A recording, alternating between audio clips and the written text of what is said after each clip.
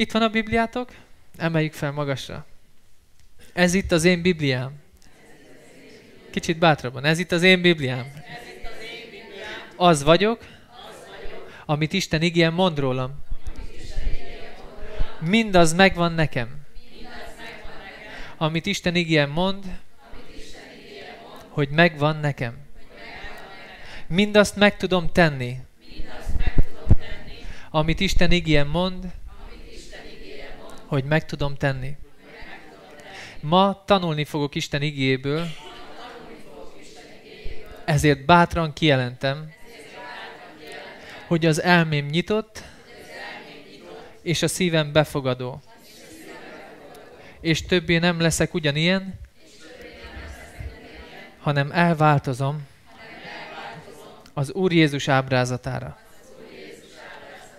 Amen, amen, halleluja, halleluja, halleluja. És mindjárt mondom, hogy kérlek, nyissátok ki a Bibliátokat az Ézsaiás könyve, azt hiszem.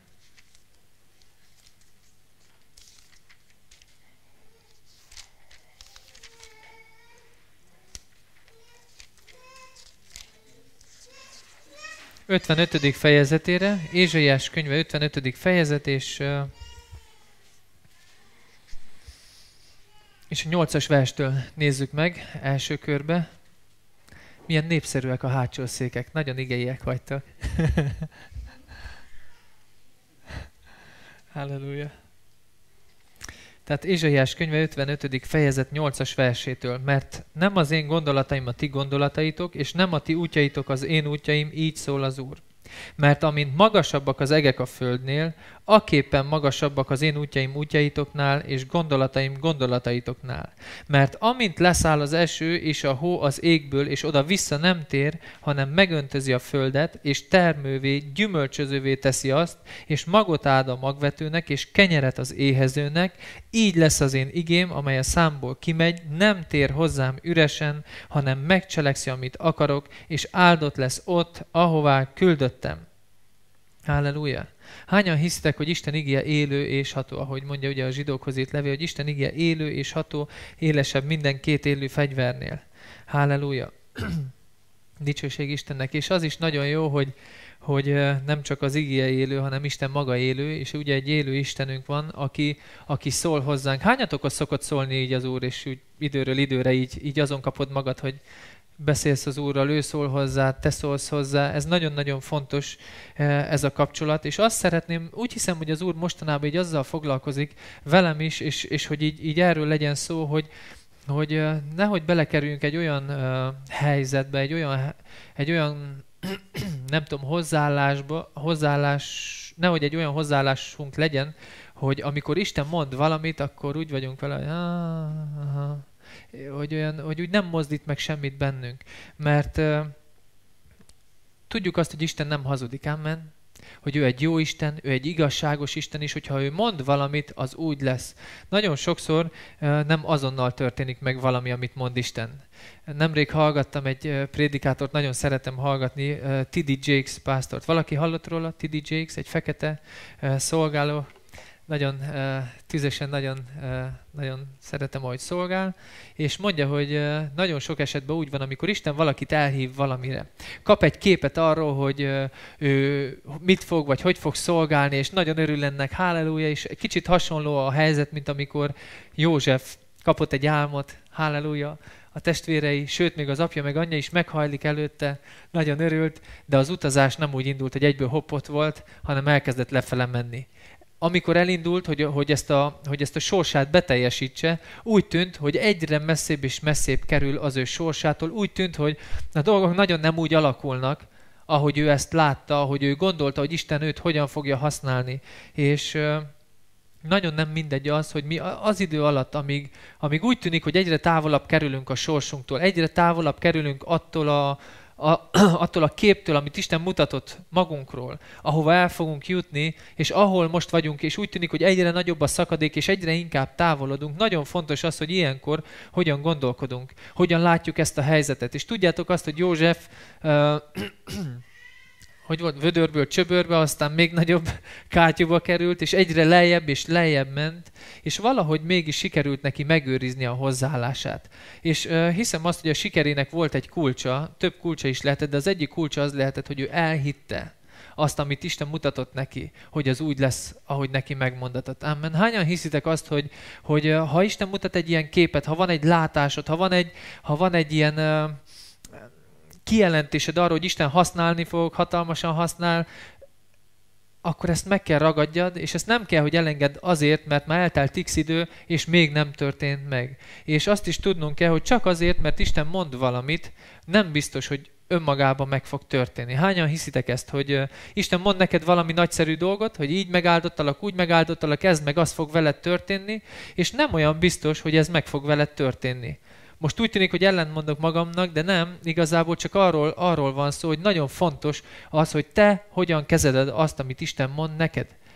Ugyanis Isten, hányan tudjátok, hogy a zsidóknak, akik felkiáltottak Egyiptomba Istenhez, hogy mentse őket ki onnan a szolgasság földjéből, Isten azt mondta, hogy kihozlak, és beviszlek a Kánaán földjére. Amen. És tudjuk azt, hogy eltelt ugyan egy csomó idő, ugye Mózes egy kicsit késleltette ezt a dolgot 40 évvel, de végül Isten elindította ezt az utazást. És ők elindultak kifele jövet, tudjuk azt, hogy hatalmas jelek, hatalmas csodák történtek, dicsőség Istennek, elindultak kijönni Egyiptomból, ki is jöttek Egyiptomból, de Isten azt ígérte nekik, hogy beviszi őket az ígéret földjére. Hányan emlékeztek a történetre? És hányan tudjátok azt, hogy abból a generációból, maroknyi ember volt, aki kettő, aki, aki konkrétan be is jutott abból a generációból, pedig Isten nem hazudik. Amen? Tehát Isten nem hazudik. Ő azt mondja, hogy én meggyógyítottalak, akkor meggyógyítottalak. Ha azt mondja, hogy én kihozlak innen, akkor ő kihoz téged. Bármit, amit Isten ígért, ő ezt az ígéretét fenntartja. Ő ezt az ígéretét be akarja váltani a te életedbe. De van valami, ami meg tud akadályozni bennünket, hogy konkrétan birtokba vegyük, hogy örököljük az ígéreteket. És erről szeretnék ma egy kicsit tovább beszélni, a múlt héten már elkezdtük, és kérlek, hogy lapozzunk el a zsidókhoz írt levélre. Zsidókhoz írt levél, és a harmadik fejezeténél kezdjük ezt el megnézni. Halleluja. Valaki kezd már lehibernálódni? Kezd túl hideg lenni? Egyet érzünk, jól van. Akkor szóljatok, a túl meleg lesz. Zsidókhoz itt levél harmadik fejezet, és nézzük a hat, hatos verstől. Krisztus ellenben, mint fiú, a maga háza felett, akinek háza mi vagyunk, ha a bizodalmat és a reménységben való dicsekedést mindvégig szilárdan megtartjuk. Annak okáért, amint a Szent Szellem mondja, ma, ha az ő szavát halljátok, meg ne keményítsétek a ti szíveteket, mint az elkeseredéskor a kísértés amma napján a pusztában, ahol a ti atyáitok azzal kísértettek engem, hogy próbára tettek, bár látták az én cselekedeteimet 40 esztendeig. Azért megharagudtam arra nemzetségre, mondám, mindig tévejegnek szívükben. Nem ismerték meg az én útjaimat, úgyhogy megesküdtem haragomban, hogy nem fognak bemenni az én nyugodalmamba. Vigyázzatok, atyám fiai, hogy valaha ne legyen bármelyikötöknek hitetlen, gonosz szíve, hogy az élő Istentől elszakadjon, hanem incsétek egymást minden napon, míg tartama, hogy közületek senkit meg ne keményítsen a bűnnek családsága, mert részes társai lettünk Krisztusnak, ha ugyan az elkezdett bizodalmat mindvégig erősen megtartjuk. Halleluja! Mit látunk itt? A Szent Szellem szólt nekik. Szólt nekik, hogy kihozza, és beviszi őket. Amen. És 40 évig folyamatosan látták, ahogy Isten olyan természetfeletti csodákat tesz, hogy leesik az álluk, és még mindig utána is próbára tették Istent. És itt az ige beszél arról, hogy, hogy, a, hogy, az ő atyák, hogy az atyák ugye kísértették, próbára tették Istent, és hogy megharagudott erre a nemzetségre, és azt mondja, hogy vigyázzatok, atyám fia, ugye utána közvetlenül összeköti, hogy valaha ne legyen bármelyikötöknek hitetlen, gonosz szíve. Ezek szerint azoknak az embereknek, akiket Isten kihozott Egyiptomból, ugye ők hívők voltak, Isten hívők voltak, hitték, hogy egy Istenünk van, stb. Kiáltottak hozzá, Isten csodákat is tett, kihozta. Hányan hiszitek, hogy miután keresztül mész a vörös tengeren, ami előtted szétválik, és száraz lábbal átmész a tengeren, és utána, amikor az egyiptomi sereg teljesen belefullad, egy fikarcnyi kétség sem maradhat benned, hogy van Isten. Hányan hisztek ezt? Amikor így keresztül mész rajta, nézed így a vizeket, kicsit lehet, hogy úgy vagy, hogy hú, gyorsan menjünk itt. És amikor kijöttél, azt mondod, hú, ezt megúsztuk. És ő, ők meg ott maradtak, akkor azt mondod, hú, ez Isten volt, Isten megmentett. Látták, ahogy, ahogy a tűzoszlop ment éjszaka előttük, a, a felhő, nappal, folyamatosan látták, a manna hullott a, a sivatagban, nekik folyamatosan látták Istent, hogy hogyan tölti be a szükségeiket, hogy hogyan, hordozza a tenyerén, és azt mondja a Biblia, hogy mégis próbára tették. Na de vajon húst tud adni? Na de ki fog nekünk vizet adni? Na de hogy lesz ez? Hogy lesz az? És Isten kicsit azt mondja itt az ige, hogy megharagudott. Megharagudott. Adott nekik egy ígéretet, hogy ez meg az fog velük történni, ők nagyon örültek, halleluja, megszabadulunk, nem kell többet szolgálni. És amikor, és, és azt is tudjuk, ugye ezt most csak úgy mellékesen fűzném oda, hogy, hogy, hogy Isten nem azt mondta, hogy megszabadítalak a fáraó szolgaságából, az egyiptomi fogságból, hogy ezután mindenki azt csináljon, amit akar, amikor akar, és ahol akar, hanem azt mondta, hogy megszabadítalak, engedd el az én népemet, ugye mondta Mózes, vagy 8-9 alkalommal a fáraónak, hogy szolgáljanak engem, ezt mondja az Úristen. Amen. Hogy engem szolgáljanak. Arra szabadította meg őket, és, és 40 éven keresztül folyamatosan próbára tették, és Isten ezt úgy kommentálja itt az ő igébe, hogy megharagudtam arra a nemzetségre, és azt mondtam, hogy mindig tévejegni fognak a szívükben, nem ismerték meg az én útjaimat, úgyhogy megesküdtem haragomban, hogy nem fognak bemenni az én nyugodalmamba. És úgy hiszem, hogy ez most róluk szólt, ez volt a történelem, de ez most nekünk szól, ami itt következik, a 12-es verst, hogy vigyázzatok atyám fiai. Hányan tudjuk, hogy ezek az atyafiak, ezek a mennyei atyának a fiai? Azaz mi? Itt mi rólunk szó, hogy vigyázzatok atyám fiai. Hogyha ez nem lenne egy, egy, egy valóságos veszély, elhisztek, hogy a, a, a, az új szövetségben ez nem lenne benne. Hogyha nem lenne egy ilyen valóságos veszély, ami fenyeget bennünket, hogy, hogy, hogy, hogy eljuthatunk egy olyan állapotba, amikor hitetlen gonosz szívünk lesz, és azt is olvassuk, hogy és ennek a végeredménye még az is lehet, hogy az élő Istentől elszakadhatunk. De ezért bátorít bennünket az ige, hogy intsük egymást. Azt mondja, hogy ha nem incsétek egymást, minden napon még tartom, ahogy közületek senkit meg ne keményítsen a bűnnek családsága mert részes társai lettünk Krisztusnak, ha ugyan az elkezdett bizodalmat mindvégig erősen megtartjuk. Hiszitek-e azt, hogy szükségünk van arra, hogy azt az elkezdett bizodalmat, amikor elfogadtad az Urat, meggyőződtél róla, volt egy bizodalmat, ezt a bizodalmat, ezt meg kell tartani. És azért mondja az ige, hogy ezt tartsd meg, mert hogy ez nem fog magától menni. Ez a te feladatod, ez az én feladatom, hogy ezt a bizodalmat, ezt meg kell őrizni. Hányan tudjátok, hogy nap mint nap jön az ördög és el akar bizonytalanítani? Hányatoknak volt olyan gondolata, hogy egyáltalán van üdvösségem? Ezt meg azt tettem, hát az ördög megkísért sokakat, pásztorokat, evangélistákat, bárkit, hogy biztos vagy te benne, hogy üdvösséged van? Tudhatod, hogy igen, ha hiszel Jézusba, Isten igen világosan mondja. Nem is kérdés, nem azt mondom, hogy van-e üdvösséged, vagy nincs, hanem azt, hogy az ördög próbál megkísérteni. Próbál ilyen gondolatokat sugalni neked, hogy te... Uh, volt már olyan valaki, vagy kiesett egy kicsit a szeretetből? Nem voltál olyan türelmes, mint kellett volna, és akkor utána persze erre bátorított az ördög, de amikor megtetted, akkor utána jön a kalapáccsal és veri a fejedet, hogy látod, mit tettél? Hát hogy, hogy, ha te igazi hívő vagy, akkor hogy tudod ezt megtenni? Biztos, hogy te igazi hívő vagy? Biztos, hogy van? Biztos? És akkor így mondja, és ilyenkor nyugodtan mondtad, hogy igen, igen, biztos vagyok benne. Tudod miért? Mert hiszem, hogy Jézus az Istennek fia, aki meghalt az én bűneimért, és feltámadt, és igenis örök életem van. Halleluja!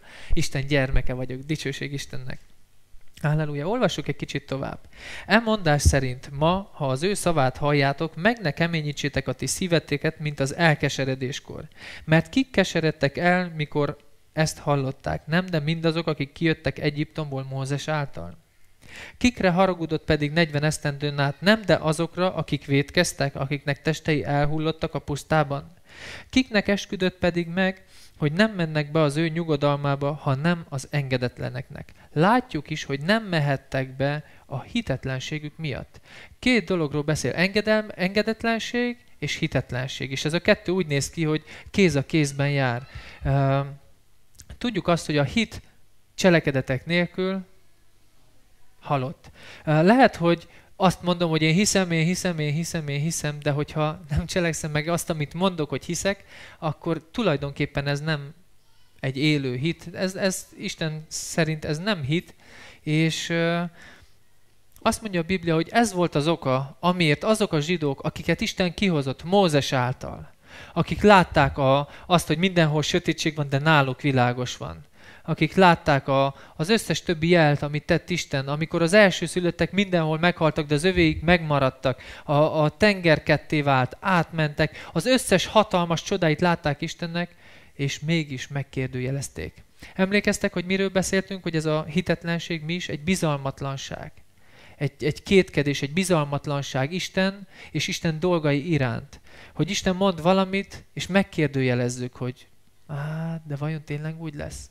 Az előbb mondtam, és nem csak én mondom, hanem Isten mondja, hogy ha ő mond valamit, az úgy lesz. Halleluja. ő azt megteszi. Isten hű az ő ígéreteihez, ő hű az ő igéhez.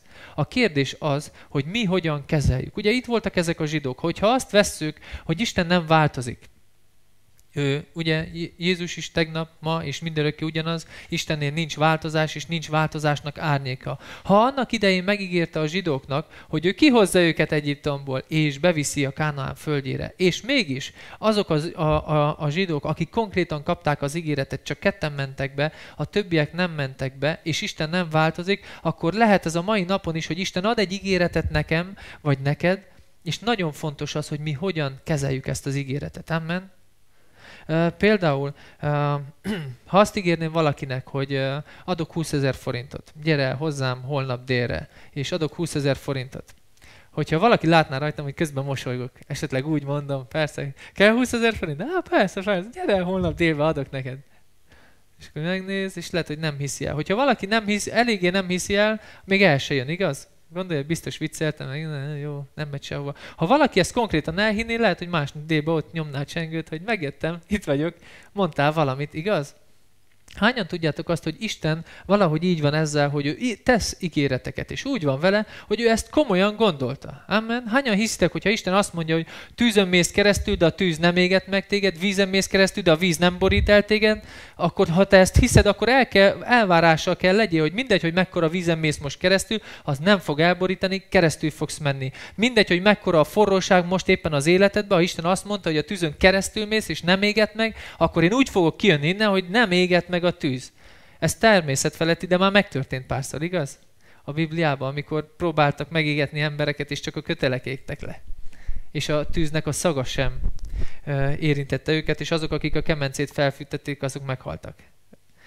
Isten hatalmas erre, amen. És ha ő ígér valamit, ez megtörténik. A kérdés az, hogy mi hogyan kezeljük ezeket az ígéreteket. És úgy hiszem, hogy az Úr szeretne egy kicsit fölrázni, hogy ha ő mond valamit, akkor merjél örülni. Mert azt mondani, hogy Amen, úgy lesz nekem, dicsőség neked, Uram, köszönöm, hogy megvan. Ígér valamit Isten, dicsőség neked, Uram. És hogyha eltelt pár év, és még nem látod, akkor mit csinálsz? Akkor teszel fel olyan kérdéseket Istennek, hogy hát Uram, mi a helyzet ezzel? Hát ezt mondtad, meg azt mondtad, hát hol van? Hát én hittem, de. És hol van? És ilyenkor nagyon-nagyon óvatosnak kell legyünk, még egyszer szeretném olvasni ezt az első részt, amit itt felolvastam a, a hetes verstől, hogy annak okáért, amint a Szent Szellem mondja, ma, ha az ő szavát halljátok, meg ne keményítsétek a ti szíveteket, mint az elkeseredéskor a kísértés ama napján, ahol a ti atyáitok azzal kísértettek engem, hogy próbára tettek, bár látták az én cselekedeteimet 40 esztendeig. Arra bátorítalak, hogy ne Isten tett próbára magadat tett próbára. Magadat tett próbára, hogy, hogy eh, na meglátom, hogy akkor én ezt most meddig, hogyan fogom bírni, mert hogy Isten nem változik. Nála nincs semmilyen hiba. A kérdés az, hogy mi meg tudjuk-e ragadni az ő ígéreteit. És az első dolog, ugyanis nagyon sokszor azt látom, hogy az emberek hallanak valamit, hogy Isten ezt mondja, vagy az Úr azt mondja, és nem vagyunk elég bátrak, hogy elhiggyük, hogy igen, az megvan nekem. Igen, azt meg tudja Isten tenni. Hányan hisztek, ha Isten ígér valamit, meg tudja tenni. Be tudja teljesíteni. Mindegy, hogy mekkorát mondott, és azt mondod, hogy aha, hát az jó lenne, de hát Nem, Isten meg tudja tenni. Mondjuk ki ezt hangosan, vagy háromszor, hogy Isten meg tudja tenni. Isten meg tudja tenni. Isten meg tudja tenni. Most azt mondjuk, hogy Isten meg fogja tenni. Isten meg fogja tenni. Isten meg fogja tenni. Isten meg fogja tenni. Halleluja. Halleluja. Halleluja. És ugye olvastuk, hogy vigyázzatok, atyám fiai, hogy valaha ne legyen bármelyik kötöknek hitetlen gonosz szíve. Mit is jelent ez a hitetlen Mit jelent ez a hit, hitetlenség? Több dolgot jelent, legalább három különböző szó van erre az új szövetségben. Jelenti azt, amikor valaki pogány, hitetlen, hogy nem hívő, hitetlen, mondja, hogy hitetleneken ne legyetek fele más igába. Jelenti azt, hogy bizalmatlan.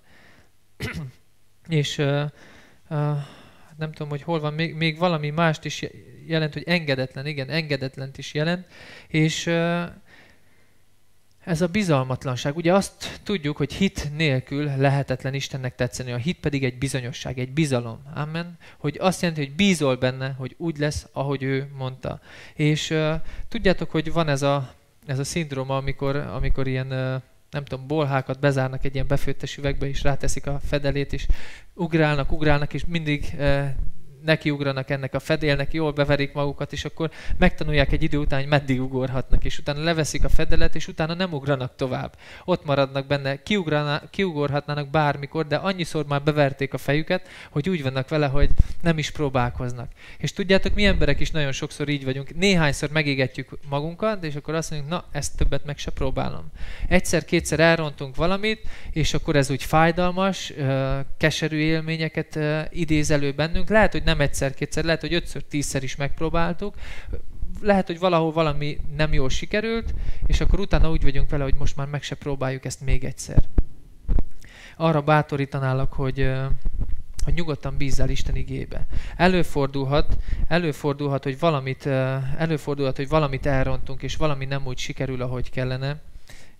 Isten nem változik. Halleluja, hogyha bárhol bármi probléma van, nagy valószínűséggel azt inkább a mi felünkön érdemes keresni.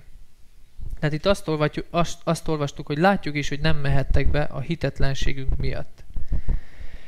Azt mondja tovább, hogy óvakodjunk tehát, negyedik fejezet első vers. Óvakodjunk tehát, hogy mivel megvan az ő nyugodalmába való bemenetel ígérete, nehogy valaki közületek úgy találtasson, hogy lemaradt arról, mert nékünk is hirdettetett az evangélium miképpen azoknak, de nékik nem használta hallott ige, mivel nem párosították hittel azok, akik hallották. Halleluja. Tehát van egy ilyen lehetőség, hogy hall, hallod az igét, és mégse használ valaki más is hallja ugyanazt az igét, és neki használ. Halleluja! Ki dönti el, hogy kinek fog használni?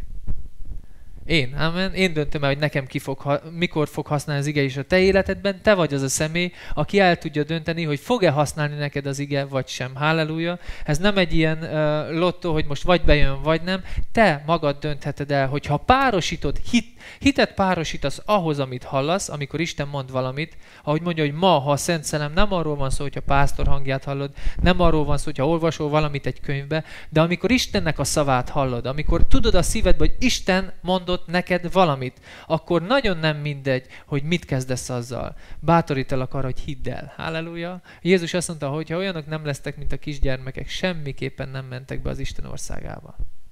Halleluja. Nagyon gyönyörködök az Úrban, és hálás vagyok neki. Lassan már öt és fél éve imádkoztam, vagy lehet, hogy hat is van már, hogy, amik, hogy, hogy tanítson az Úr a Salomén keresztül. Akkor ugye ő volt az első, és akkor érdekes módon a többi gyereknél ezt nem kértem, és valahogy náluk nem is működik ez a dolog, de a Sasán keresztül egy csomó mindent tanulok. És nemrég, lehet, hogy ezt már meséltem, de még egyszer elmesélem, hogy nemrég a Salomé kezdett tanulni biciklizni, és kicsit kinkeservesen indult a dolog, hogy eh, mentünk, és ez ilyen végig sírás volt. Ő akart biciklizni, elindultunk, nem sikerült valami, nem, nem, nem, nem tudom megcsinálni, beütötte magát, minden, és valahogy sehogy nem, egy csomó ilyen kellemetlen élmény volt benne, és eh, meséltem nektek, hogy ezt mind úgy olyankor állt meg az út közepén, ahogy, ahogy kell, és, eh, és akkor nagyon ideges voltam rá, és nagyon mérges voltam rá, hogy ez miért, miért, miért pont ott áll, meg ha már megáll, legalább az útszélén állj meg, de nem, nem akart hallgatni, semmit nem akart úgy csinálni, hogy mondtam, csak azt mondta, hogy neki ez nem megy, ő ezt nem tudja megcsinálni, neki ez nem megy, ő nem, nem, nem. És később beszélgettünk egy kicsit erről, és mondtam neki, hogy, hogy Tudod, hogy azt mondja a Biblia, hogy amit hiszel a szívedbe, és kimondasz a száddal, az lesz meg neked. Ha azt mondod, hogy ez nem megy neked, nem fog menni neked. Soha nem fogsz tudni így megtanulni biciklizni. Ha ehelyett azt mondanád, hogy ez megy nekem, meg tudom csinálni, akkor meg az lenne meg. És akkor ilyen könnyes szemekkel hallgatta, igen, igen. És akkor bementünk. Legközelebb jöttünk ki, már föl voltam megint lelkileg készülve, hogy a füleimet bemelegítettem, hogy, hogy akkor most megint következik egy műsor, de ezúttal valami egészen más történt. Elkezdtünk biciklizni, és jön utánam, és azt hallom, hogy meg tudom csinálni, megy ez nekem, meg tudom csinálni, megy. Hú, mondom, mi történt? És ha hiszitek, hanem előtte mentünk 10 métert, megálltunk, ha megálltunk, nem tudtunk elindulni, amikor meg kellett állni, nem ott álltunk meg, ahol meg kellett volna állni, tehát egy ilyen, ilyen és amikor mondja, meg tudom csinálni, megy ez nekem, meg tudom csinálni. Hú, nézem, ez az, mondja csak, mondja. Megyünk, és mentünk, vagy negyed órát nem álltunk meg sehol, megy mindenhol, mondom, igaz, hogy meg tudom Igen, igen, meg tudom csinálni, meg, mondom, mindig ezt mondja, meg tudom csinálni, meg tudom csinálni.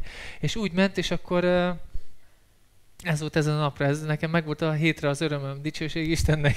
Annyira örültem neki, és mindössze annyi történt, hogy csak szót fogadott. Mondtam neki, hogy ezt így csinálod, ez menni fog, és akkor elkezdte úgy csinálni, ment, és akkor utána az elindulással voltak problémák, hogy nem tudott elindulni, mindig segítettem neki, de gondoltam, jó lenne, hogyha most már megtanulná.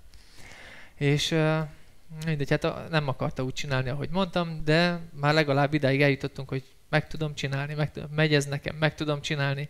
A, a, a kapunknál, ahogy megyünk le az útra, van egy picike kis ilyen lejtő. És mondtam neki, hogy itt, itt lendületet tudna venni, és el tudna magától inni. Jaj, nem merő, nem merő, nem tudja megcsinálni, nem tudja megcsinálni, nem megy ez neki. Megint egy másik alkalommal valahogy úgy sikerült, hogy egyszer csak úgy legurult onnan és uh, rajta maradt, hú, és rájött, hogy ez úgy nem is olyan rossz, és következőben mondtam, hogy ha legurulna, és felrakja a lábát, akkor ott simán el tudna indulni.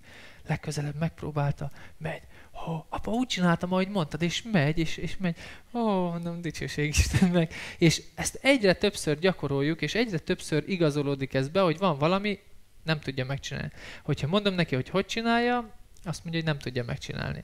Utána, amikor eljut odáig magába, hogy, hogy elhiszi, hogy meg tudja csinálni, és elkezdi azt kimondani, hogy meg tudom csinálni, meg tudja csinálni. De ez ilyen pillanatok alatt, hogy egyik nap még, vagy egészen odáig még soha nem tudta megcsinálni, elhiszi, hogy meg tudja csinálni, öt perc múlva megy neki. Tehát ilyen, ilyen szinten, hogy nem hetek, hónapok telnek el, hanem pikpak, és az a, annyi, annyira látom azt benne, és ez van velünk felnőttekkel is, ha el tudod hinni, hogy azt meg tudod csinálni, akkor meg tudod csinálni. Ha nem látod, ha nem hiszed el, hogy ez neked megy, ha nem hiszed el, hogy ezt meg tudod csinálni, nem fogod meg tudni csinálni. Van, aki azt mondja, hogy én már egész életemben aggódtam, én ezt nem, nem tudok ettől megszabadulni, nem fogsz tudni megszabadulni. Ha azt mondod, hogy meg tudok tőle szabadulni, és elkezded látni magad úgy, hogy meg tudsz szabadulni, akkor igenis szabad lehetsz az aggodalmaskodástól, a félelmektől, vagy bármi mástól, ami éppen megkísért téged. De addig, amíg nem tudod látni magad így, addig ez nem fog menni. És egy kicsit, hogy ezt a történetet összehozzam az igével, van egy mennyei atyánk, aki hányan hisztek, hogy mindenbe segíteni akar, hogy mit, hogyan kellene megtegyünk. És nagyon sokszor ugyanezt játsszuk el, hogy azt mondjuk magunkba, hogy én, nem, én ezt nem tudom megcsinálni, én képtelen vagyok erre, uram, miért engem választottál, uram, én, én, én béna vagyok, én gyenge vagyok, én nekem nincs tehetségem, én ezt nem tudom megcsinálni, küldj valaki mást, uram, és Isten úgy van vele, várja, hogy mikor leszel túl a hisztin, és akkor utána, uh, még egyszer hidd el, hogy meg tudod csinálni. Uh, meg tudod csinálni, meg tudod csinálni, meg tudod csinálni, és egyszer csak elhiszed, hogy tényleg lehet, hogy meg tudom csinálni meg tudom csinálni, és egyből megy az a dolog. Bármiről legyen szó. Azt mondja a Biblia, hogy, hogy ha van hitünk, akár hegyeket mozdíthatunk ki, és semmi nem lenne lehetséges, semmi nem lenne lehetetlen, bocsánat, a számunkra, mert ha hiheted, minden lehetséges annak, aki hisz. A kérdés az, hogy el tudod-e hinni. És nagyon sokszor mi felnőttek, a gyerekek szeretnének, amikor már elég nagyobb tűzoltó, orvos, fodrász, rendőr, és nem tudom mi lenni, de nem így egymás után egyszerre ezt mind, és elhiszik, hogy ezt mind meg tudják csinálni, és ahogy, ahogy felnövünk, tudjátok, hogy mi történik? Különböző korlátokba ütközünk, és megtanuljuk, ezt se tudom megcsinálni, azt se tudom, ez se sikerül, az se sikerül, és akkor kezdünk beszűkülni, kezdünk bezárókozni, és akkor úgy érezzük, hogy már lassan semmit nem tudunk csinálni, mert ezt is megpróbáltam, nem ment, azt is megpróbáltam, nem ment, és hányan hiszitek, hogy nekünk hívőknek uh, van egy ilyen turbo fokozatunk, ami valaki látta azt a mesét, hogy turbo csiga? Érdemes lenne megnézni, ez nagyon jó film. Van egy kis csiga, aki nem tudom, hogy belekerül egy autónak a motorjába, ahol éppen ilyen nitrogénnel töltik fel, és akkor innentől kezdve ennek a csigának lesz egy olyan képessége, hogy ha akar menni, akkor ilyen versenyautókat előz meg, ilyen tempóval tud menni, ilyen turbo, ez lett a neve is, hogy ilyen turbo csiga, és és nekünk keresztényeknek van egy ilyen fokozatunk, egy turbo fokozat, ez az, amikor az Úrral együtt tesszük a dolgokat. Akkor nem a mi erőnktől függünk, hanem akkor az Úrral képesek vagyunk bármire. Az orvos azt mondja, hogy ebből nem tudsz kijönni, vagy ebből nem tudsz teljesen meggyógyulni, az ige pedig azt mondja, hogy igenis meg tudsz belőle gyógyulni, igenis ki tudsz jönni, minden tünet el tud menni, erősebb leszel, mint azelőtt, tökéletesen helyre tudlak állítani. Hányan hiszitek? Valaki azt gondolja, hogy nem tudok megszabadulni az adósságoktól, annyi adósságom van. A te mennyei atyád bolygókat teremt. Földeket, enyém az ezüst, enyém az arany, e, a, a barmok az ezernyi hegyeken. Isteni az egész. És ő a te mennyei apukád. Gondolod, hogy nem tudna pár tíz, vagy pár húsz, vagy akárhány milliót nem tudna eljuttatni hozzád? Úgy, hogy ne menjen csődbe a mennyország, és ne kelljen ott különböző szankciókat bevezetni, hogy Isten ezt nem tudná megtenni, Isten hatalmas arra, hogy megtegye. A kérdés az, hogy van-e elég hitünk, hogy ezt meg tudjuk tenni. És egy dolog, hogy van elég hited, és a másik dolog ez a hitetlenség. Amikor jön Istentől egy ilyen ígéret, akkor el tudod-e hinni. És az ige azt mondja, hogy legyünk olyanok, mint a gyerekek. És a gyerekek egyébként így vannak ezzel, hogyha mondtad neki, elhiszi. És mostanában sajnos lehet, hogy nem túl jó ötlet, de néha viccelődünk így a gyerekekkel, és akkor néz rám, komolyan, ugye most vicceltél, apa? És akkor én tök, igen, igen, vicceltem, hogy, hogy, hogy, hogy úgy mondasz hogy teljesen abszurd dolgot, és akkor így elhiszik, de úgy nézi, hogy esetleg mosolyogsz -e utána, hogy lehet, hogy csak viccelte, vagy ezt komolyan gondoltad. De gyerekek elhiszik, hogyha mondanak valamit egyszerűen, és hogyha a mennyei atyánk, aki nem szokott velünk viccelődni, van humorérzéke, de nem így viccelődik velünk, hogy ígér neked valamit, de aztán nem teljesíti, uh, hanem uh, hanem ő egész más módon viccel. Például úgy, hogy amikor ez az ördög olyan óriási nagy erő bedobással, óriási kihívásokat intéz neked, és akkor így az ő, ő, ő neveti ezt, és azt mondja, hogy tudod, hogy milyen könnyen át tudunk ezen menni? Ez sem eddig nem tart. És a kérdés az, hogy, hogy újra meg tudsz-e bízni Istenbe, hogy amit ő ígér neked, ő azt megteszi hogy ő azt megteszi. És amikor szól hozzá, tudsz-e lelkesedni egy kicsit, hogy igen, ezt mondta az Úr, halleluja, halleluja, meg lesz nekem, amit mondott az Úr, meg lesz nekem, amit mondott az Úr. Mert nékünk is hirdettetett az evangélium miképpen azoknak, de nékik nem használta hallott igen, mivel nem párosították hittel azok, akik hallották. Múlt héten is megnéztük, de kérlek újból nézzük meg, ugyanis ez az egyik legjobb példa a Bibliába, így a hittel, meg a hitetlenséggel kapcsolatban, amit a a rómaiakhoz írt levél negyedik fejezetében olvasunk Ábrahámról, a 17-es verstől Róma 4.17-től. Tehát Ábrahámot a hitünk atyának is nevezi a Biblia, és egy nagyon jó példa arra, hogy Isten tett neki egy ígéretet, és hosszú időn keresztül úgy tűnt, hogy ebből nem lesz semmi. És hányan tudjátok, hogy itt az előbb is ígértük, hogy az előbb is olvastuk, hogy ha hogyha ezeket az ígéreteket és a bizodalmat mind végig megtartod, akkor tudod örökölni ezeket az áldásokat. Hányan vannak úgy, hogy egy-két évig hisznek, reménykednek, és valami nem úgy alakul, hogy ők akarják, és azt mondják, na majd én megoldom, és akkor hagyják Istent, hagyják az ő igét, feladják, és azt mondja az ige, bocsánat, mire, mielőtt még ide jönnénk, ez is azt hiszem, hogy a zsidókhoz írt levélben van.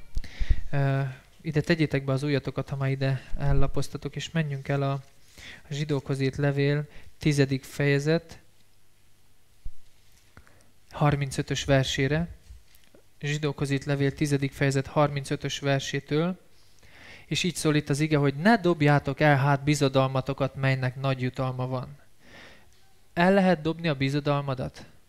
Az nagyon egyszerűen így néz ki. Hát én hittem, de nem történt úgy, hogy én hagyom a francba ezt az egészet. Én többet nem jövök a gyülekezetbe, én többet nem olvasok Bibliát, pont, pont, pont az egész. És uh, eldobtad. Ennyi. Ilyen egyszerűen ezt meg lehet tenni. Sokszor meg vannak kísértve az emberek, mikor megyünk keresztül olyan dolgokon, amiket nem értünk. És sajnos van ilyen. Van már valaki, történt ilyen, hogy nem is érted, hogy hogyan történhetett ez meg. Sajnos vannak ilyenek. Most még nem értünk, majd oda át megértjük. Vannak dolgok, amiket most nem értjük. Lehet, hogy egy pár év múlva majd megértjük, hogy az miért történhetett meg. Vannak dolgok, amikor nem értjük. Hányan tudjátok, hogy ilyenkor maradj Isten oldalán? Maradj Isten oldalán. Ő szeret téged, ő veled van. Ha valami megtörtént veled, biztos, hogy ha az egy rossz dolog volt, akkor az nem Isten terve volt az életedbe. De ha megengedte Isten, hogy belekerülj egy ilyen helyzetbe, hányan tudjátok azt azért tette, mert tudta, hogy ebből is győztesen tudsz kikerülni. Mert Isten nem hagyja, hogy feljebb legyél megkísértve, mint amit el tudnál szenvedni, sőt, a kísértéssel együtt a kimenekedés útját is megadja. Amen.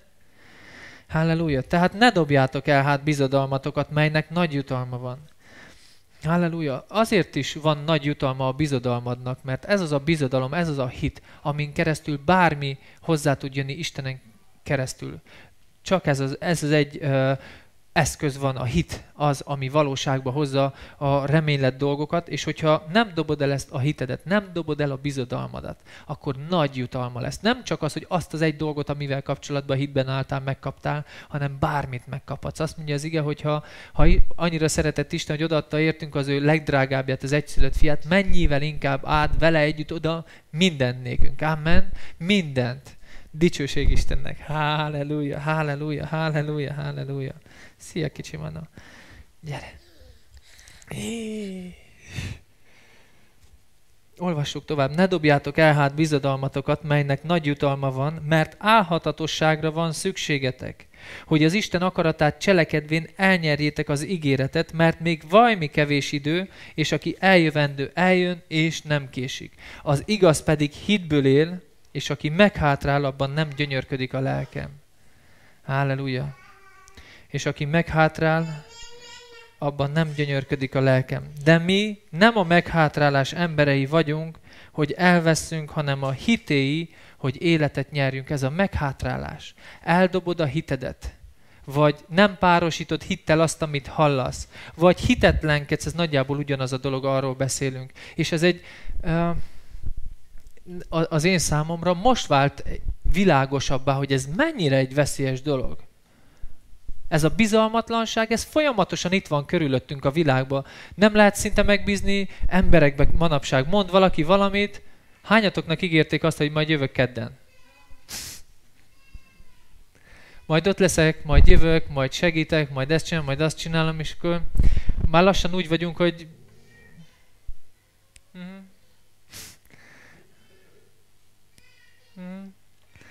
hogy úgy, e, már nem is várod legink, hogy, hogy megjelenjen, mert annyiszor ígérték, és annyiszor nem tették meg, és érdekesnek találom, hogy ezt legtöbbször így Isten dolgaival teszik ezt. Nem is értem, hogyha valaki tudja, hogy nem lesz ott, vagy nem lesz ideje, vagy valami, miért azt mondja, hogy ott le, per, per, megpróbálom, eljövök, mondja azt, hogy nem fogok ráírni, akkor de majd egyszer lehet, hogy eljövök, nem tudom, nem ígérem és akkor ezt, ez becsületes dolog, akkor azt mondom, nem várom, majd ha egyszer megjelenik, akkor örülök neki, hogy mégis sikerült neki. De ilyenkor ezek az emberek Istenen játszanak, szerencsére nem tudják, hogy mit csinálnak, ezért hiszem, hogy nem lesz olyan súlyos ennek az eredménye, mint ha tudnák. Szóval álhatatosságra van szükség. Isten ígért neked valamit, akkor kitartásra van szükséged, és miközben kitartasz, addig a bizodalmadat meg kell őrizd. Halleluja. Ne add fel. Valamiben reménykedtél, Emlékeztek, hogy ezt hogy tudjuk megcsinálni? Ha aki őre néz, ugye? Aki őre néz, annak az arca felvidul. Ha arra tekintesz, hogy ezt ő mondta, ha valaki más mondta volna, akkor nem hinném, de ezt ő mondta nekem, ezt az Úr mondta, és én ezt hiszem, és nem fogom hagyni, hogy bárki elvegye tőlem. Halleluja! Bátorítalak, sokan vagytok, akik már most szolgáltok, és arra bátorítalak, hogy kötelezd el magad, hogy nem engeded meg magadnak azt a luxust, hogy megkeseredjél. Halleluja! Láttatok már szolgálókat megkeseredni? Tele van a hócipője az emberekkel, tele van a hócipője az egésszel, de azért csinálja, savanyú, ha kinyitja a száját, akkor a panaszkodás jön, de ő Isten szolgálja. És ez egy veszélyes hely. Én ezt az egyet kértem az úrtól, amikor így elkezd, láttam, hogy van egy ilyen veszély, és, láttam azt, hogy én szeretném, uram, ne enged, hogy ide kerüljek. Nem szeretnék ide kerülni. És, és nagyon igyekszem arra vigyázni, hogy ha valamit nem tudok szívből tenni, hányan tudjátok, hogy ha valamit nem tud szívből tenni, akkor ne tedd. Amen. Nagyon jó fenntartani azt a képet, de annyira nem. Annyit nem ér. Annyit nem ér, hogy, hogy, hogy megkeseredjél. Annyit nem ér, hogy, hogy, hogy csak egy ilyen látszat legyen, és nincs mögötte semmi. Akkor inkább mondd azt, hogy bocs, eddig csináltam, most már nem tudom csinálni, és azt mondjuk, hogy oké, okay, Rendben van. Ha újból úgy érzed, akkor nyugodtan szóljál, és ne engedd meg. Ne csinálj olyan dolgokat, amiben nincs benne a szíved, amit nem tudsz tiszta szívből, jó szívvel csinálni, ne csináld. Mindegy, hogy egy jó dolog, ne csináld, hagyd abba, ne csináld, ne engedd. Azt mondja az ige, hogy minden féltett dolognál jobban őrizd meg a szívedet. Ha bármi próbálna oda férkőzni, ne engedd. A, az egy kincs, ugyanis szívvel hiszünk az igazságra, amen. Ne engedd, hogy a szíved megsebződjön, ne engedd, hogy, hogy, hogy megméreg, megmérgezzen, ugye azt mondja, hogy a, a, a keserűség gyökere az fel tud növekedni, amikor valami miatt kezdesz keserűséget ér, ér, érezni. Az Eszti egyszer prédikált erről már jó régen, és így, így megmarad bennem, hogy ezt, ezt a keserűséget, ezzel foglalkoznod kell, mert ha engeded, hogy felnövekedjen, akkor, akkor, akkor kész annak, annak súlyos következményei lehetnek. Ne engedd. Ne engedd. Hogyha valami úgy érzed, hogy, hogy nem jó, és ott belül érzed, akkor, akkor kérdezd meg, Uram, mit csináljak, Uram, mit csináljak? És hogyha bármi van, hagyj abba bármit, de ne engedd, hogy a szíved megkeseredjen. Ne engedd, hogy eljuss egy olyan helyre, egy olyan helyzetbe, amikor már azt mondod, hogy ah, nem érdekel, hogy mit mond az Úr, nem érdekel, hogy mit mond a Biblia, nem érdekel ez az egész. Ez egy olyan hely, egy olyan út, ami ha tovább halad az ember, elszakadhat Istentől. Én ezt nem láttam ilyen, ilyen uh, súlyosnak ezt a helyzetet mostanig, ugyanis úgy gondoltam, hogy uh, vagy valahogy úgy ez volt bennem, hogy ez egy ilyen természetes dolog, hogy uh, hogy nem látom, nem vagyok, nem, nem bízok meg valakiben, de nem, ez nem olyan természetes ez a dolog, hanem, hanem ez egy igen, igen komoly dolog. Halleluja. Hív az Úr. a stereo csatornát a keverőn lehúzott, szerintem nem fog hallatszódni. Kösz. Halleluja. Mondja, Uram. Itt vagyunk, itt van az Úr szolgája. Halleluja. Hallgatunk téged. Halleluja. Halleluja. Menjünk a rómaiakhoz itt levélre, akkor ahova terveztük, ahova készültünk elmenni. Rómaiakhoz írt levél negyedik fejezet és a 17-es verstől. Halleluja. Azt mondja itt, hogy amint megvan írva, hogy sok nép atyává tettelek téged azelőtt az Isten előtt, akiben hit, aki a holtakat megeleveníti, és azokat, amelyek nincsenek, előszólítja, mint meglévőket, aki a reménytelenség ellenére elvárással hitte, hogy sok népnek atyává lesz, az szerint, amint megmondatott, így lészen a te magod. Ábrahám többek között attól volt a hitünk atya, hogy Isten azt mondta neki, hogy nézd fel az égre, meg tudod-e számolni a csillagokat, ennyi lesz a te magad. Fölnézed, hű, az elég sok. Vagy nézd meg a, a tengernek a partján a homokot. Hány homokszem van, meg tudod számolni? Ennyi lesz a te magad. Hát, és elhitte száz éves volt. A felesége meddő volt. Semmi esély nem volt arra, hogy ez megtörténjen, de ő elvárással hitte. Minden nap úgy kelt fel, hogy elvárta. Eltelt egy év, még mindig semmi. Eltelt öt év, még mindig semmi. Reggel föl kell, lehet, hogy ma fog megfogadni a gyermekünk, lehet, hogy ma fog megfogadni a gyermekünk, lehet, hogy ma fog megfogadni a gyermekünk. Hányan hiszitek, hogy, hogy ez hit? Elvárással hitte. Elvárta, hogy az megtörténik. Hogyha te azt mondod, hogy hitben vagy, és már nem várod el igazán, akkor nem tudom, milyen hitbe vagy. Akkor vagy hitben, amikor, amikor örömmel kezd fel reggel, várod, hogy megtörténjen az, amit Isten mondott neked. És jó hírem van akkor is, hogyha valaki esetleg belekerült a hitetlenségbe. Eset, és hányan tudjátok, hogy ugyanúgy, ahogy a hit ahogyan működik a hit, van ilyen, hogy lehet hited az életed egy bizonyos területén, míg egy másik területén nincs elég hited. Például lehet hited az anyagiak területén, és mondjuk a kapcsolatok területén egyáltalán nem működik a hited, vagy fordítva. Vagy, vagy lehet úgy, hogy az életednek egyik területén nagyon erős hited van, felépült már a hited, de a másik területén lehet, hogy kínlódsz, és, és, és nagyon nem megy. És föl tudod az életed akárhány területén építeni a hitedet, ugyanis a hit úgy működik, hogy hiszed a szíveddel, és kimondod a száddal. Kezd el kimondani, meg tudom csinálni, megy ez nekem, és nyugodtan arra a területre, és meg fogod látni, hogy, hogy menni fog az neked. Szóval ő a reménytelenség ellenére elvárással hitte, hogy sok népnek atyává lesz, amint megmondatott, így lészen a te magod, és hitében erős lévén nem tekintett az ő már elhalt testére, mint egy százesztendős lévén, sem sárának elhalt méhére, az Istennek ígéretében sem kételkedett hitetlenséggel, hanem erős volt a hitben, dicsőséget adván Istennek. Halleluja! Tehát mit csinált? Az Isten ígéretében nem kételkedett hitetlenséggel. Amikor kételkedsz Istennek az ígéretében, akkor hitetlenségben vagy. És hát nem tudom, hogy te voltál, én voltam ilyen helyzetben. Még egyszer mondom, ez nem azt jelenti, hogy nem hiszem, hogy Jézus meghalt értem, nem azt jelenti, hogy nem hiszem, hogy Isten nem tudna használni, de, de lehet, hogy volt Istennek egy olyan konkrét ígérete, ahol úgy voltam vele, hogy hát nem is tudom. Mondott valamit, és hmm, de jó lenne, de hát és, és voltam én is hitetlenségben, de jó, jó hírek vannak ezzel kapcsolatban, hogy ki lehet ebből jönni. Halleluja! Az igen nem véletlenül mondja, hogy incsétek egymást minden napon, még tartom, hogy, hogy a, a bűnnek a családsága senkit megnek keményítsen, hogy, ugyan, hogy a hitetlenségnek ugyanebben a példájában elség. Ugyanis tudjuk egymást bátorítani, hogy lehet, hogy úgy érzed, hogy kezdesz ellankadni, kezded feladni, ne add fel, mert én is hittem, és az Úr nekem is megadta, és neked is megadja, mert nem személyválogató, és tudjuk egymást bátorítani. Amen. És szeretnélek ma bátorítani, hogy mindegy, hogy hányszor tapasztaltad meg, hogy te megpróbáltad, nem sikerült, próbáld meg még egyszer. Próbáld meg még egyszer, fuss neki még egyszer, kérdezd meg az úrtól, hogy esetleg volt, Uram, bármi, amit elrontottam? Hogyan csináljam, Uram? Mutasd meg, segíts nekem, mert tudom, hogy a Te ígéd igaz. Tudom, hogy amit ígértél, az megvan nekem. Amen. Halleluja. Olyan jó, hogy ilyen vidámak vagytok. Dicsőség Istennek. Halleluja. Halleluja. Az Istennek ígéretében sem kételkedett hitetlensége, hanem erős volt a hitében, dicsőséget adván Istennek, és teljesen elhitte.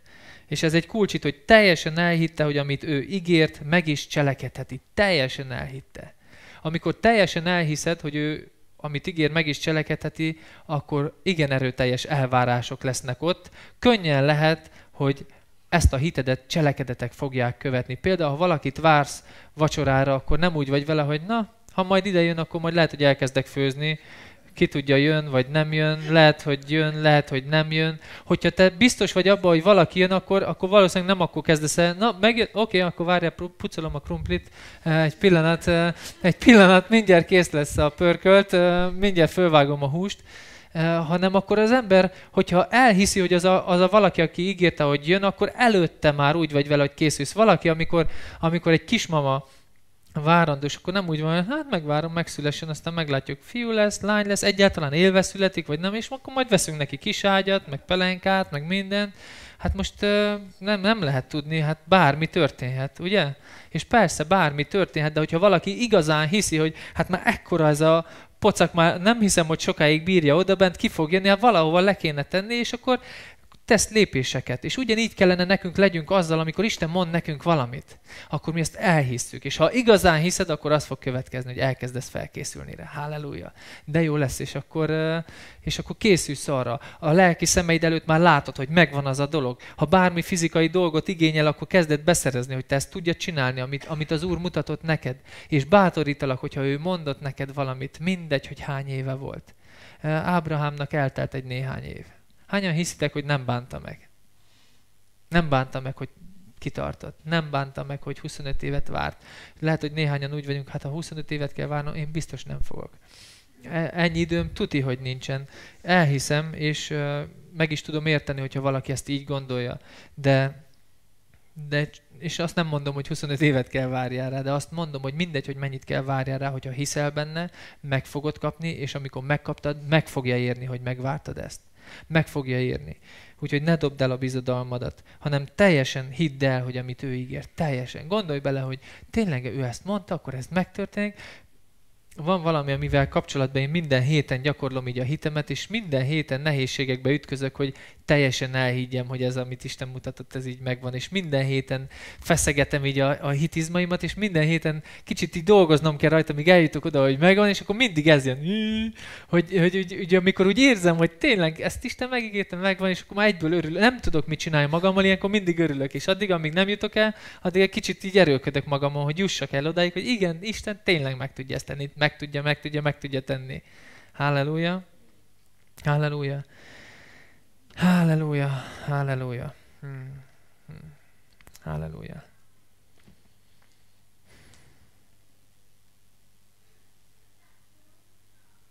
Menjünk el a Titushoz írt levél első fejezetére, kérlek.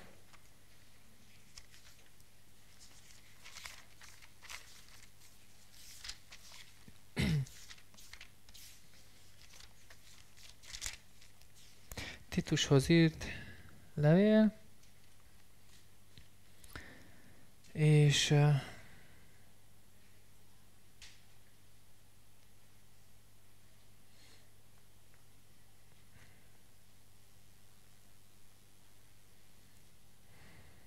és a 15-ös verstől néz, első fejezet 15-ös verstől nézzük meg.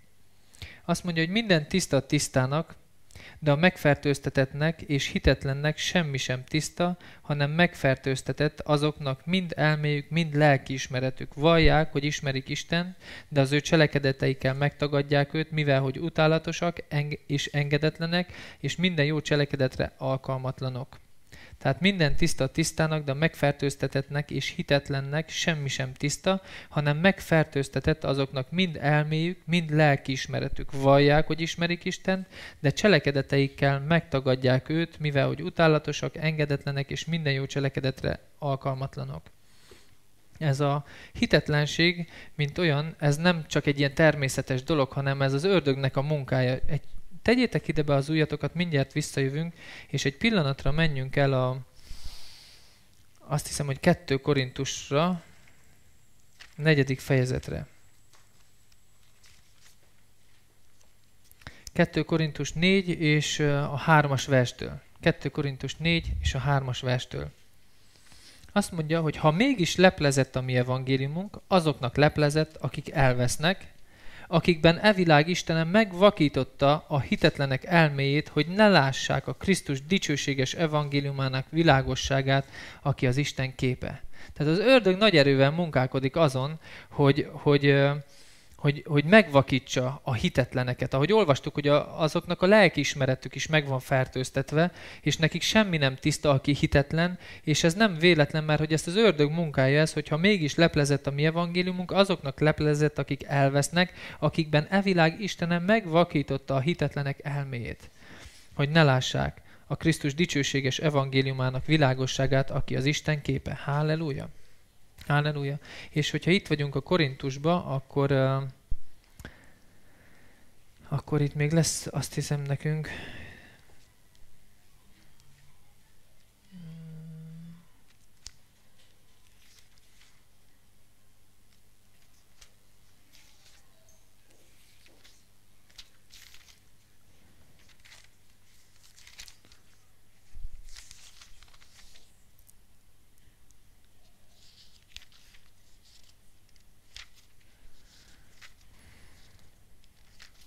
Pillanat, mindjárt megtalálom.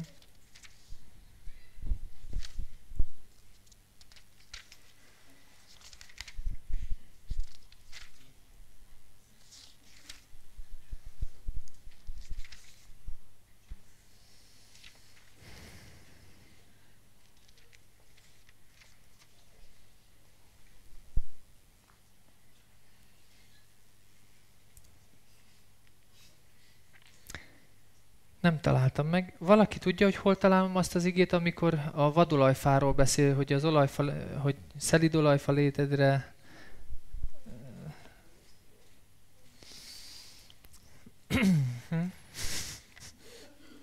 Jó kérdés. Én a Korintusra tippeltem, de nem találtam meg benne. Igen?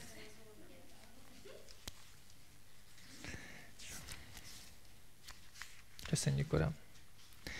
Sajnos nincs most jelen a élő konkordanciánk, úgyhogy várjuk vissza szeretettel. Köszönöm. Róma 11. fejezet, köszönöm szépen. És 16-os verstől nézzük meg, hogy ha pedig a zsenge szent, akkor a tészta is, és ha a gyökér szent, az ágak is azok. Ha pedig némely ágak kitörettek, te pedig vadolajfa létedre beoltattál azok közé, és részese lettél az olajfa gyökerének és zsírjának, ne kevékedj az ágak ellenében, ha pedig kevékedsz, nem te hordozod a gyökeret, hanem a gyökért téged. Azt mondod azért, kitörettek az ágak, hogy én beoltassam. Úgy van. Hitetlenség miatt törettek ki, te pedig hit által állsz, fel ne fuvalkodjál, hanem félj. Mert ha az Isten a természet szerint való ágaknak nem kedvezett, majd néked sem kedvez. Tekintsd meg azért az Istennek jóságát és szigorát, azok iránt, akik elestek szigorát, irántad pedig jóságát. Ha megmaradsz az ő jóságában, különben te is kivágattatsz. Sőt, azok is, ha nem maradnak meg a hitetlenségben, beoltatnak, mert Istennek hatalmában áll újra beoltani őket. Mert ha te a természet szerint való vadolajfából kivágattattál, és természet ellenére beoltattál a szelidolajfába, mennyivel inkább beoltatnak ezek a természet szerint valók az ő saját olajfájukba. Mert nem akarom, hogy ne tudjátok, atyám fiai, itt most nem megyek egy kicsit tovább, amit, amit szeretnék ebből a néhány versből, hogy lássatok itt a, a, a, a vadolajfáról beszél, meg a, melyik a másik, a, a szelid olajfa, és arról beszél, hogy az, hogy most valaki kitöretett, ez egy dolog, de mi csak nagyon ne kevékedjünk, mert Istennek hatalmában áll újra beoltani. Halleluja! Hogyha valaki belekerült esetleg, vagy belement az ördögnek ebbe a csapdájába, és valamilyen dologgal kapcsolatban hitetlenségbe került, Istennek hatalmában áll újra beoltani. Halleluja! Még hogyha ki is töretett, azt mondja, Istennek hatalmában áll újra beoltani. Ahogy minket, ha a vadolajfákat beoltott a szelíd olajfába természet ellenére, úgy Istennek hatalmában áll, aki onnan töretett ki, vissza újból beoltani oda. Halleluja, hogyha valaki elszakadt, vagy kitöretett, úgymond, akkor is Istenek hatalmában áll újra beoltani. Halleluja. Úgyhogy bármelyik területen, hogyha, hogyha hitetlenségbe kerültünk volna, Istenek van hatalma. Halleluja arra, hogy újra beoltsa a hitet a mi szívünkbe, hogy újra hit, hitre kapjunk, hogy újra egy reményt lássunk, újból bízunk abban, amit ő mondott, ő azt meg is cselekedheti. Amen. Halleluja. Van Istennek erre hatalma. Dicsőség Istennek, és utolsó uh, részként uh, a Titusra menjünk vissza, második fejezet, és majd folytatjuk onnan, valamikor máskor. Titushoz írt levél, második fejezet,